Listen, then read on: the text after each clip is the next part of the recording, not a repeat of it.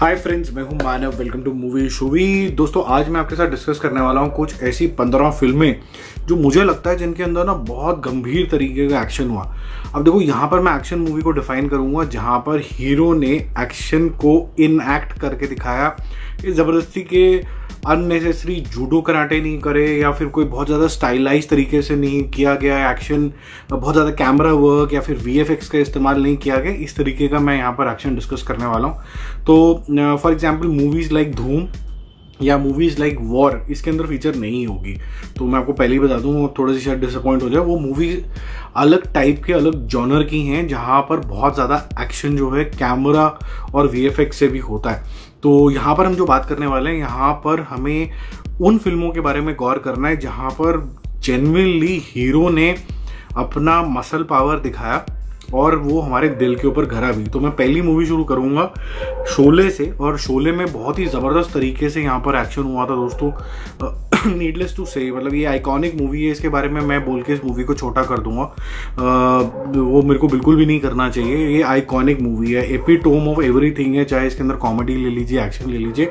और action by both the actors चाहे वो धर्मेंद्र हो, उनके तो मुक्के और उनके हाथ में बहुत ज़बरदस्त दम था यहाँ पर। Even angry young man of those times अभी अमिताभ बच्चन, बहुत ज़बरदस्त एक्टिंग उन्होंने करी थी यहाँ पर, बहुत ज़बरदस्त एक्शन किया था। वहीं से उनकी वो लातों से जो वो मारा करते थे एक्शन किया करते थे, वो बहुत ज़बरदस्त था। तो मेरी समझ के हिसाब से शोले एक ऐसी मूवी थी जिसके अंदर बहुत ही रॉ तरीके का एक्शन था और जिसके अंदर कोरियोग्राफ्ड टाइप एक्शन होता है, जहाँ पर हीरो को बहुत ज़्यादा मेहनत करनी पड़ती है, वो जेनविनली लकड़ियों के ऊपर गिरता है, उस तरीके की चीज़ें होती हैं।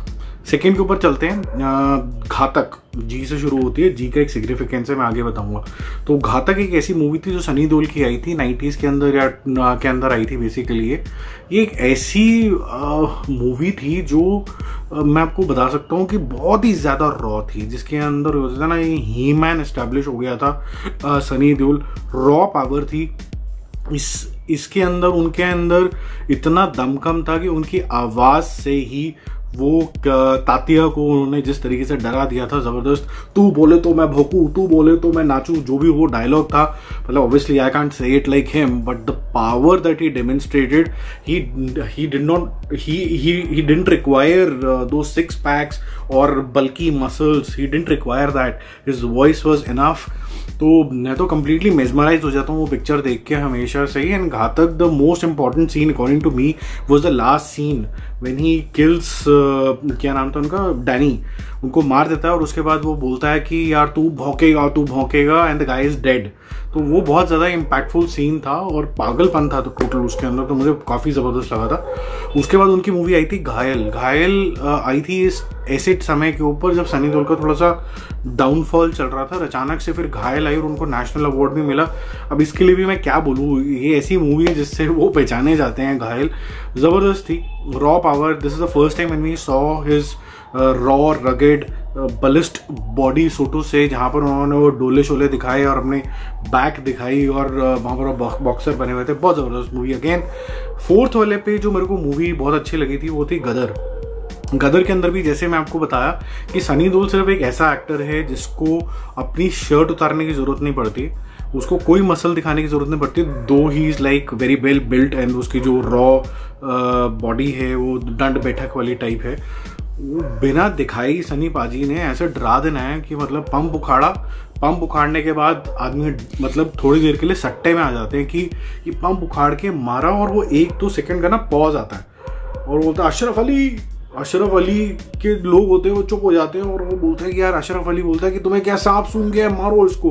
और वो जो पॉज होता है ना, वही हाईलाइट है उस सीन की कि एक बंदा पंप उखाड़ के क्या क्या कर रहा है that's the highlight and that's the brilliance of a star who is able to justify that scene आप बिलीव करने लग जाते हो कि Sunny Deol can really pull out that hand pump and kill so many people तो amazing यार, मुझे काफ़ी ज़्यादा वो अच्छा एक्ट लगा था और बहुत अच्छे तरीके से उसको कोरियोग्राफ भी किया गया है उस पर्टिकुलर सीन को।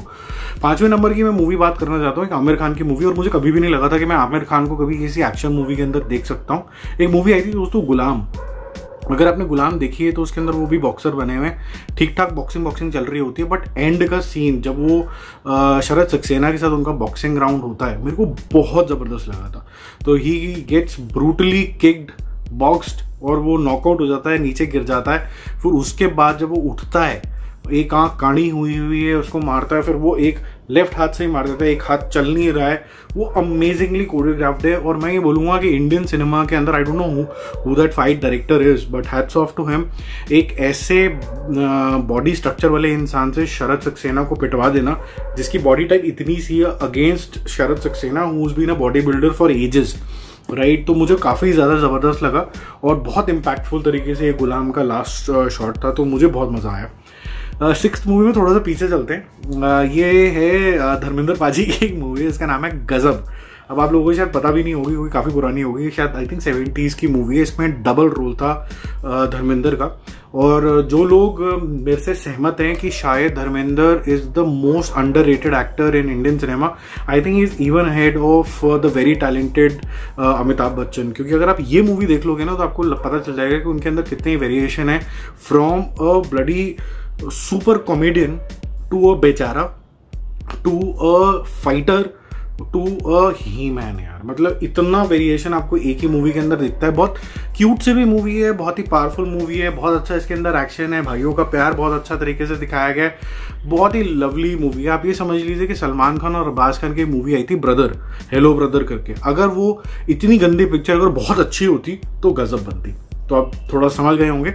अगर आप देखना चाहते हैं तो मेरे ख्याल से ये मैंने उस दिन देख रहा था यूट्यूब के ऊपर फ्री में अवेलेबल है तो देख लेना। बहुत ज़बरदस्त मूवी है वन ऑफ़ माई फेवरेट्स चलो, अब सेवेंथ नंबर पे चलते हैं। इस मूवी का नाम है दोस्तों फोर्स फोर्स वन इसके अंदर थे विद्युत जामवाल और इसके अंदर थे द बलिस्ट जॉन इब्राहिम ज़बरदस्त movie again and why I like it is that जब आपके पास हीरो बहुत ज़्यादा स्ट्रांग होता है ना, इतना मस्कुलर इतना fit and very proper in his body structure you need an opponent who can really challenge him तो ओपोनेंट कैसा चाहिए? विद्युत जामवाल जैसा, जो कि मतलब सटकेल पागल ही can do anything is unpredictable और उस तरीके से जब दोनों का एक शॉट भी आता, जो पोस्टर बना था मस्कुलर है, दोनों एक दूसरे का हाथ इस तरीके से पकड़े हुए बहुत ज़बरदस्त इनका आखिरी फाइट सीन था। विद्युत जामवाल ने बहुत अच्छी एक्टिंग करी थी इसके अंदर। जॉन इब्राहिम तो इस तरीके के रोल के अंदर police officer with brutal force वो अच्छा करते हैं। बहुत ज़बरदस्त था। इसके अंदर उन्होंने फ़र्स्ट टाइम बाइक उठा के यहाँ पर दिखाई थी तो मुझे काफ़ी अच्छी लगी थी ये movie and specifically because of the negative shades that we saw in Vidyut Jamwal.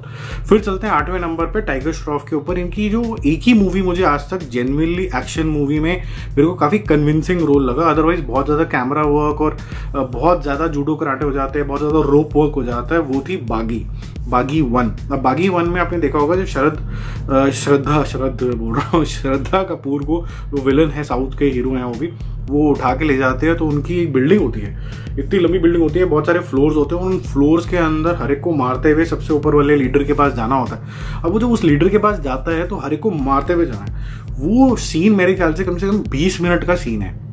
20 minute का जी हाँ 20 मिनट का कंसिस्टेंट फाइट है और आप देखते देखते थक जाते हो। And it is all hand combat okay so it is not that कि आप गन्स वगैरह चला रहे हो। जेनविन मार्शल आर्ट्स हैं मिक्स मार्शल आर्ट टाइप्स हैं और आप एक फ्लोर से uh, आखिरी फ्लोर तक जब तक जाते हो आप थक जाते हो। एज अ व्यूअर आप देखते देखते थक जाते हो but this guy is on it मतलब ऑब्वियसली वो कट कट कट कट होके सीन स्टिच करे गए होंगे। बड़ा अमेजिंग भाई।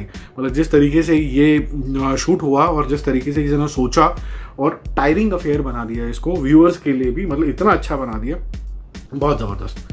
अब चलते हैं नाइन्थ नंबर के ऊपर, ये है कमांडो वन और इसके अंदर विद्युत जामवाल हैं। अब ये मुझे सिर्फ़ विद्युत जामवाल के स्टंट्स के लिए नहीं स्टंट्स तो इसके अंदर बहुत बेहतरीन थे। वो एक छोटी सी गाड़ी की खिड़की के अंदर से निकल के चला जाता है, फिर वो फ्लिप करके, ठक करके टूंगस्टन तरीके का कुछ मार देता है, वो सब चीज़ें तो चलो अपनी साइड है बट इसके डायलॉग्स भी बहुत ज़बरदस्त थे। इसके अंदर पहली बार ऐसा हुआ काफ़ी टाइम के बाद जो हीरो है हीरोइज्म से भरे हुए ऐसे डायलॉग्स मार रहा है कि टाइम टाइम फेस हो गई भैया विलन की भी, और विलन भी कोई आए गए विलन नहीं है। विलन आज के डेट में काफ़ी स्ट्रॉन्ग माने जाते हैं। मैं सॉरी उनका नाम बोल रहा हूँ। मुझे भूलने की बहुत ज़्यादा आदत है, जिनको नहीं पता मैं भूल ही जाता हूँ उनका नाम बट इनको हमने देखा था, पताल लोक में जो विलन थे।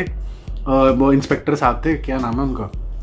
बहुत बेहतरीन एक्टर है बड़े बड़े सिल्की वाल हैं। एनी वेज गूगल कर लेना यू गॉट द पॉइंट अच्छा अब दसवें नंबर पे जो हम जाने वाले हैं, वो है खिलाड़ियों का खिलाड़ी। खिलाड़ियों का खिलाड़ी उस टाइम के ऊपर जब ये भी नाइन्टीज़ की मूवी है कि काफ़ी ज़बरदस्त मूवी हुई थी। Akshay Kumar was a rising star that point in time and he was considered to be the Tiger Shroff of today and he could I think he could perform any kind of stunt तो उसका patented वो तो था ही कि helicopter से उल्टा लटकना है। वो सब तो था ही। इसके अंदर सपोजिटली वो हैवी डब्ल्यू डब्ल्यू एफ़ उस टाइम के फाइटर्स के साथ उसने फाइट करी थी और बॉडी डबल ऑफ़ अंडरटेकर के साथ भी उसने काफ़ी ज़बरदस्त फाइट करी थी। उसको उठाना उसको uh, फेंकना इतने हैवी आदमी आदमी को, सात फुट के आदमी को और इतने ज़्यादा फ्लाइंग केक्स ये वो काफ़ी ज़्यादा चीज़ें थी उसके अंदर।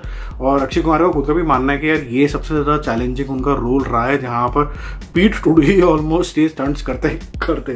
तो अच्छा था विजुअली भी बहुत अच्छी यहाँ पर फाइट्स कोरियोग्राफ करी गई थी। इलेवेंथ नंबर पर दोस्तों, मैं यहाँ पर एक फीमेल लीड की बात करना चाहूँगा, जो कि बहुत दमदार एक्ट्रेस है। मेरे समझ के हिसाब से हम बहुत सी बारी कुछ ऐसे एक्ट्रेसेस को नंबर वन मानने लग जाता है जिन्होंने अभी बहुत कुछ साबित नहीं किया बहुत अर्ली हो गया उनके लिए। बट रानी मुखर्जी, ऐसी एक्ट्रेस है जिन्होंने बहुत कुछ करके दिखाया है। उनकी मूवी है मर्दानी। इनफैक्ट टू भी बहुत ज़बरदस्त है, पर वन में सरप्राइजिंग एलिमेंट था बिल्कुल मेरे लिए कि एक स्वीट लड़की can become so daring and so lethal amazing यार, वो जो एक्शन भी था, वो काफ़ी रॉ तरीके से शूट किया गया था और बहुत सूट किया था उनको, बहुत ज़बरदस्त लगा मुझे। And it's an inspiration for lot of woman to perform such an action it's not one of those action where an you are just doing trying to do martial art टेढ़े मेढ़े action करके flip flips करके कुछ कर दिया। बहुत सी हमने movies में देखा है कि to give some bit of emphasis on a female character but they're given some uh, flips and all of that. ऐसा नहीं था ये थोड़ा सा रॉ था। लग रहा था मर्दानी द पुलिस इंस्पेक्टर मारने की कोशिश कर रही है चाहे वो बेल्ट से हो चाहे वो लातों से हो। It's a very crude form of fight तो वो मुझे काफ़ी ज़्यादा अच्छी लगी थी। बारहवें नंबर पे चलते हैं।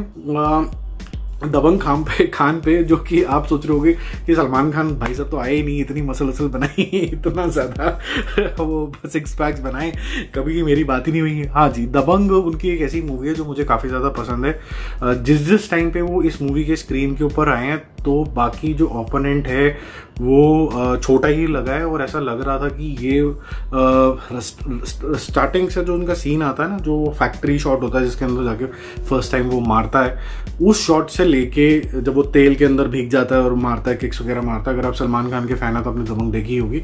Till the end shot of the fight with Sonu Sood जब वो बोलता है, क्या डायलॉग होता है, हम तो कमीनों के भगवान हैं। तो उस तरीके का जो आता है डायलॉग भी आता है, बहुत ज़बरदस्त एक्शन है उसके अंदर। थोड़ा स्टाइलिश भी है but at the same time वो थोड़ा सा मर्दों वाला रॉ है।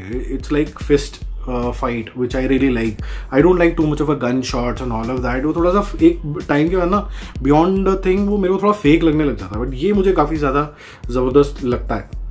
तेरहवें नंबर पे दोस्तों मैं एक और आपको सरप्राइज़ देने वाला हूँ। जैसे मैंने गुलाम का सरप्राइज़ बताया था आपको पाँचवें नंबर पे तो तेरहवें नंबर पे एक मूवी आ रही थी आर राजकुमार, शाहिद कपूर की, और वो मूवी को फिर बाद में राजकुमार, आर राजकुमार ऐसे करके कुछ कर दिया गया था उसका नाम। ये प्रभु देवा ने बनाई थी और इतने छुटकू से बॉडी के साथ Shahid Kapoor was made to fight Sonu Sood हो six six point one inch tall and superbly well built उसके साथ उसको लड़ना है और वो फाइट जो थी वो रियल लगी थी। एंड में उसको इतनी पिटाई होती है, शाहिद कपूर की इतनी पिटाई होती है, बेचारे को चक्कू भी लगते हैं, गिरता भी है, दफनाया भी जाता है, बहुत कुछ होता है।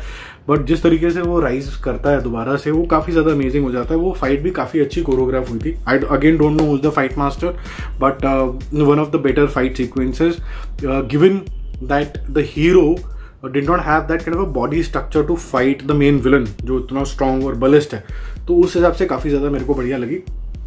और अब चलते हैं हम चौदहवें नंबर पर मैं थोड़ा सा और पीछे जाता हूँ। एक जो फाइट जो मुझे काफ़ी ज़्यादा पसंद आई थी और वो एक आइकॉनिक स्टाइल बन गया और आज भी लोग उसको कॉपी करने की कोशिश करते हैं, वो दीवार है। दीवार के अंदर जब पहली बार अमिताभ बच्चन वो फैक्ट्री शॉट अगेन और वो फैक्ट्री का डोर अंदर से बंद कर देते हैं और बोलते हैं, तुम लोग मेरा इंतज़ार कर रहे हो और मैं तुम्हारा यहाँ इंतज़ार कर रहा हूँ। और फिर उसके बाद वो फाइट शुरू होती है। It is all again fist fight that's reason I like that rope से होती है, घूसों से होती है, लातों से होती है। तो बहुत अमेजिंग है। वो जो फाइट है ना, उसके अंदर स्वाद ही कुछ अलग है। तो आई रियली लव्ड इट तो मुझे ऐसा लगा कि यार, ये हुई ना मर्दों वाली बात। I am not trying to be biased और I am not trying to be sexist I am just saying that certain movies depicted the hero in the raw crude format और वो ही मुझे अच्छा लगा इसके अंदर। पंद्रहवें नंबर पे चलते हैं। आज के लास्ट मूवी वैसे तो बहुत सारी हैं। बट अभी फ़िलहाल के लिए पंद्रह की लिस्ट मुझे लगा थोड़ी सेंसेबल लिस्ट होगी। वैसे भी पंद्रह मिनट का तो वीडियो हो ही गया है यहाँ पर। टाइमिंग देख रहा हूँ, देखो मैं आगे। देखो, ये वाली जो मूवी है ना, ये भी मुझे काफ़ी ज़्यादा इंप्रेसिव लगी थी, क्योंकि जितनी जितनी बार हीरो स्क्रीन पे आया ना तो ऐसा लगा कि यार हीरो आ गया यार, आ गया यार, आ गया यार। ऐसी वाली फीलिंग आ गई, और मैं बात कर रहा हूँ राउदी राठौड़, जिसमें अक्षय कुमार थे। डबल रोल था, एक के अंदर राठौड़ इंस्पेक्टर राठौड़ बना होता है, एक में राउडी होता है, मैं नाम भूल गया हूँ दोनों का क्या होता है बट जो इंस्पेक्टर वाला होता है, जो एंड में मर जाता है, दिखाते हैं। बट वो ज़बरदस्त था यार वो ज़बरदस्त था। जितनी बार भी आता है डायलॉग्स ले लो किक्स ले लो। Again you seen the pattern here is जितनी भी मैंने आपको मूवीज़ बताई ना जिसके अंदर एक्शन uh, अच्छा हुआ उसके अंदर कोरियोग्राफी बहुत अच्छी हुई है उसके अंदर कोई बहुत ज़्यादा रोप वर्क नहीं है उसके अंदर कोई गन फाइट्स बहुत ज़्यादा नहीं है उसके अंदर रॉ ब्रूटल फोर्स है जिससे हीरो अप्लाई करता है विलन या उनके पप्पू चप्पू के ऊपर। मुझे वही पसंद आता है यार कि यार दिखाने का है, डोला दिखाने का है, मारने का है और जेनविनली करके दिखाने का है यार। ये है, ये नहीं उल्टा पुल्टा डाल दिया कैमरा डाल दिया, ये कर दिया, वो कर दिया और पीछे वी एफ़ हो रहे हैं। ठीक है, कुछ हद तक ठीक है बट लार्जली ऐसा होना चाहिए कि यार, लगे यार, ये मार देगा यार। बचो यार इससे, ये मार देगा यार, या ये बचा लेगा यार, ये बचा लेगा। अरे, आ गया यार। अरे आ गया वैसे एक और मूवी है, अगर एज अ बोनस हमें डिस्कस करना है, और एक स्पेसिफिकली सीन के बारे में डिस्कस करूँगा, ये आउटसाइड टॉप फिफ्टीन रखेंगे। वांटेड के अंदर एक सीन मुझे काफ़ी ज़्यादा पसंद आता है, जब आशा टाकिया को ट्रेन में गुंडे लेके चले जाते हैं, और फ़ोन करता है एक बच्चा, सलमान खान को, और वो ट्रेन के अंदर आ जाता है। और वो ऐसे खड़ा हुआ बस पिलर के सामने। और बिल्कुल साइलेंट है वो। और वो जब मारता है तो बिल्कुल ऐसा लगता है कि मेरी आँखों में एंगर है, वो कुछ नहीं बोल रहा और बहुत पिटाई होती है।